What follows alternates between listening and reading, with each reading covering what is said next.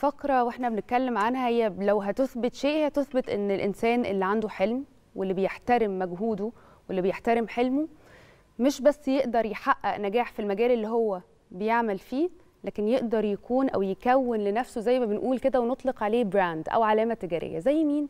زي الحالة الاستثنائية وفخرنا كلنا اللاعب الكبير محمد صلاح. كل يوم محمد صلاح بيكتب يعني سطر جديد في حكايته الأسطورية مع نادي ليفربول الإنجليزي. هو مشواره مع كرة القدم من بدايته الحقيقة مش بس مع ليفربول. هي إن جامعة هارفارد واحدة من أهم وأعرق الجامعات في العالم بتناقش خلال الفترة اللي جاية دراسة اقتصادية هامة جدا عن عقد محمد صلاح مع نادي ليفربول.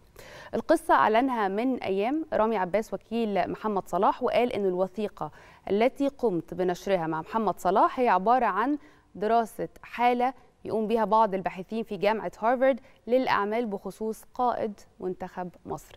الدراسة هيتم اعتمادها للتدريس بشكل رسمي في الدراسات العليا بكلية إدارة الأعمال بجامعة هارفارد واللي شارك في كتابتها الكاتب طاهر المعتز بالله آه الحاصل على الماجستير بكلية الاقتصاد بجامعة الماجستير آه في إدارة الأعمال عفوا بكلية الاقتصاد بجامعة هارفارد واللي معانا دلوقتي عبر تطبيق آه زوم مساء الخير على حضرتك يا أستاذ طاهر واهلا بيك معانا في برنامج التاسعه ويمكن أعتقد محمد صلاح آه قدر يثبت إن هو تجربة استثنائية وتجربة فريدة من نوعها الحقيقي.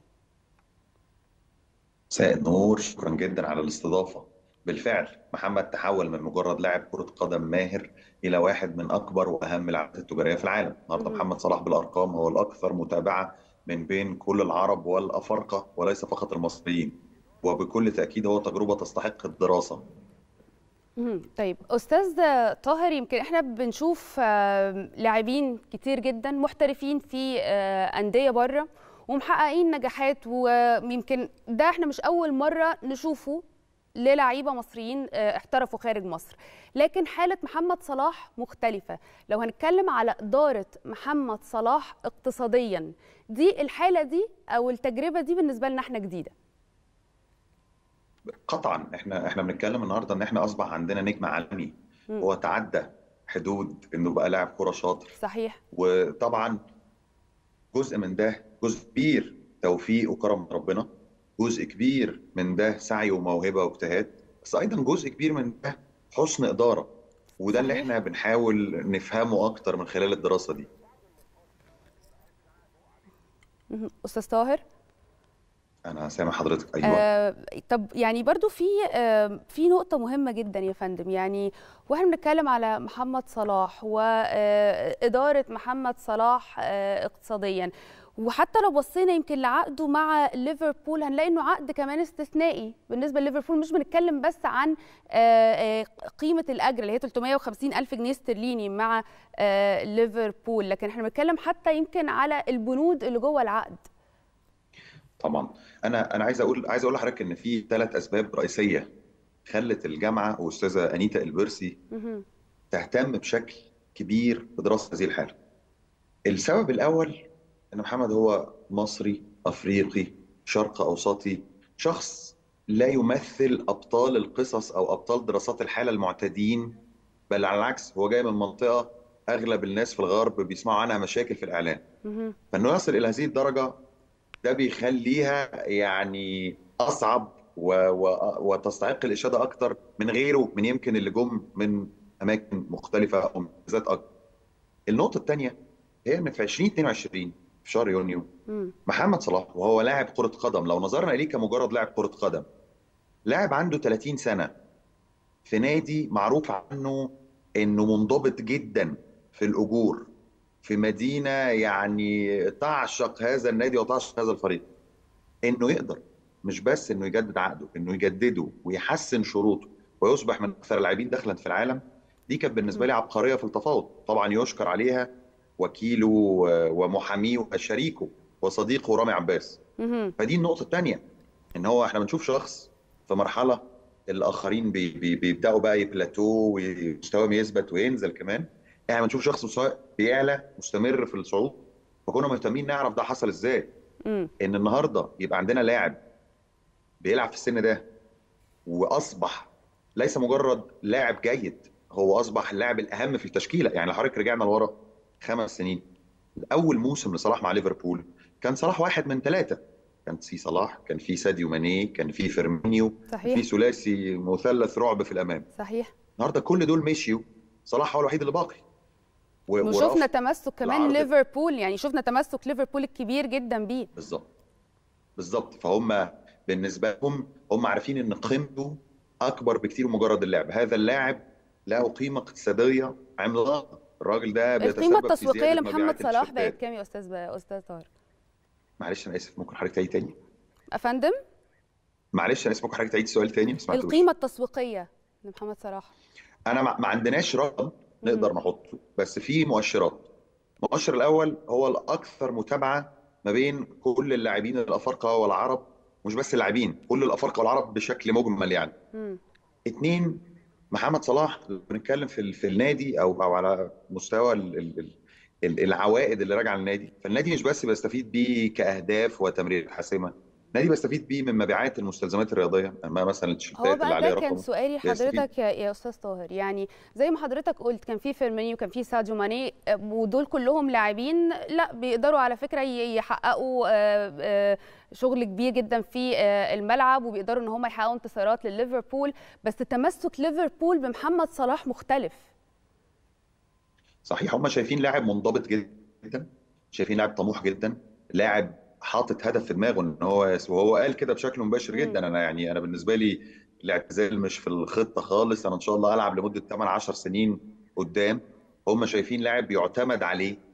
لاعب بيعتبر ال- الرياضة حرفة وظيفة بيحترم أكل عيشه. مش بيعتمد على الموهبة وخلاص. هو على طول عايز يتحسن. على طول بيزود الجرعات التدريبية. على طول بيدور على نقص. إلى جانب إن هم شايفين لاعب محبوب وليس فقط وليس فقط مشهور. وده فرق مهم جدا. طبعا طبعا. هو بيحظى بشعبية داخل المدينة ليفربول الإنجليزية بشكل يعني ممكن يفوق اللي هو بيحظى بيها في القاهرة. بالدرجه تحق يعني الإشادة والانبهار لأن هو اولا جميل بشوش. طريقة لعبه ما بيعملش فاولات كتير ما بيعملش شيء كتير. بالنسبة لرامي عباس هو دايما بيعمل جاهدا إن اسم صلاح أو صورة صلاح تبقى دم. كل شيء جيد مرتبطة بكل شيء إيجابي. ولذلك هو حسن إدارة وطبعا إنسان يستاهل ويستحق كل خير يعني وربنا هو يحميه يعني. ملتزم ويعني ومنضبط ولا يعني بالنسبة لنا محمد صلاح من يعني من أفضل الأمثلة اللي أو النماذج اللي ممكن تمثل مصر الحقيقة في الخارج وبالفعل قدر يؤثر على ناس كتير جدا بره وناس كتير جدا يمكن كان عندها فكرة مغلوطة تماما عن آه، مصر وعن الإسلام بالنسبة لمحمد صلاح قدر إنه وإحنا بنتكلم يعني هي دي القوة الناعمة قدر بمنتهى البساطة إن هو يقدر يؤثر في هذا الإطار تحديدا. طب أنا أستاذ طاهر أنا شايفة ورا حضرتك آه، كتاب محمد صلاح. صحيح. آه، آه، قولي. الكتاب؟ احكي لي بقى عن الكتاب ده. الكتاب ده صدر أعتقد سنة 2018 في عز مجد محمد صلاح بعد الوصول لنهائي دوري الأبطال لأول مرة بعد الموسم الاستثنائي اللي عمله مع ليفربول. ولكن لما قريته أحبطت جدا. الكتاب كان الأعلى مبيعا يعني في مستوى على مستوى العالم. مهم. لم يحمل أي معلومة جديدة باستثناء ما تم الإدلاء به في المقالات واللقاءات التلفزيونية. وده اللي خلاني لأول الأعلى مرة مبيعا؟ وكان من الأعلى مبيعا. ده. كتاب فرانك وورل صلاح King of the Kop أو ملك ملك ال Kop اللي هو استاد ليفربول. و... و... وده بالنسبة لي كان عندي استفهام كبيرة. إحنا إزاي صلاح اللي كل الناس عارفاه ونظن إن إحنا نعرف عنه كل حاجة في الحقيقة إحنا ما نعرفش عنه أكتر ما نعرف. يعني لما تصفحت الكتاب هو ما عملش مقابلات مع صلاح ما عملش مقابلات مع رامي ما عملش مقابلات مع ناس كتير. مم. فده اللي لفت انتباهي إن إحنا بحاجة لتوثيق الدراسات والنماذج الناجحة التجارب الموجودة حوالينا مصر فيها يعني ألف وألف محمد صلاح. ولكن كتير ما نعرفهمش واللي نعرفهم ما بنكتبش عنهم وما بن... ما بنذاكرهمش. يعني دايما بنتوقف عند بحب الشخص بحب الشخص.